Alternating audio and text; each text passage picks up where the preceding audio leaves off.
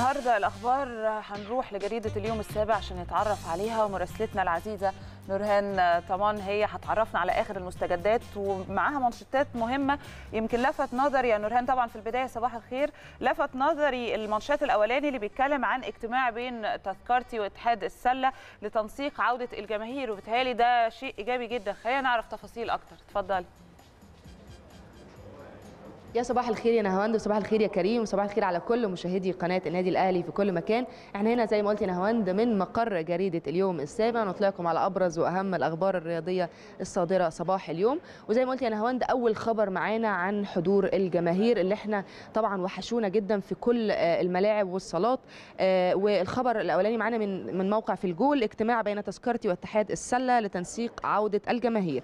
عقد مجدي أبو فريخة رئيس الاتحاد المصري لكرة السلة اجتماع مع مسؤولي شركة تذكرتي بحضور محمد الحلو المدير التنفيذي للاتحاد لبحث عودة الجماهير مرة أخرى للصالات. كمان طبعا في الخبر قال إنه الاتحاد المصري بيسعى بكل قوة للحصول على الموافقات الأمنية لعودة الجمهور مرة أخرى للصالات. ودي خطوة مهمة جدا. الجمهور وحش وحشونا جدا ووحشنا صوت الجماهير في الصالات. وأكيد هتفرق جدا مع شخصيات أو مع شخصية اللاعب المصري سواء في كل الألعاب يعني سواء في كرة القدم أو الباسكت أو أو يعني أي لعبة جماعية.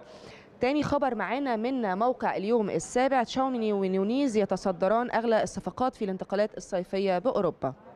كمان خلينا نقول لكم إن اليوم السابع ذكر في تقريره إن الأندية الإنجليزية تصدرت الأندية أو تصدرت قائمة الأكثر انفاقا في الميركاتو الصيفي الحالي. متفوقة على الأندية الأخرى طبعا في ال Big Five بإجمالي صفقات في موسم الانتقالات الصيفية 122 صفقة تقريبا بقيمة 208 مليون و508 ألف يورو.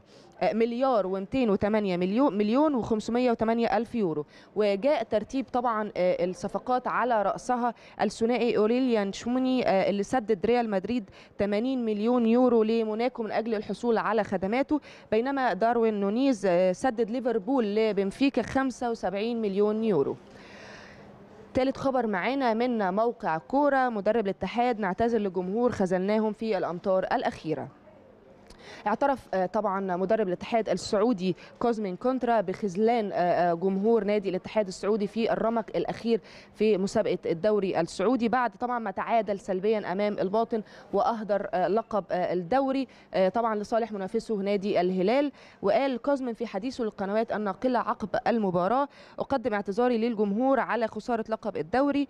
قد وقفوا معنا طوال الموسم وكانوا سندا لنا وعون آه كمان ابدى آه المدير الفني للاتحاد السعودي حزنه على هبوط نادي الأهلي آه في طبعا لدوري الدرجة الثانية وقال إنه بيتمنى بصورة كبيرة جدا عودتهم مرة أخرى للمنافسة. ومن موقع الشرق الأوسط وده آخر خبر معانا. اليوم نهائي كأس العرب لكرة الصالات بين المغرب والعراق.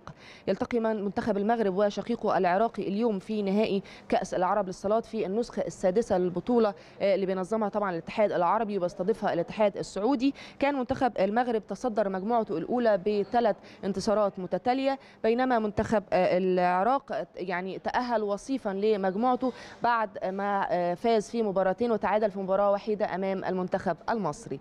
دي كانت أبرز أخبارنا هنا من موقع وجريدة اليوم السابع. شكرا لكم جدا وعوده إلى الاستوديو.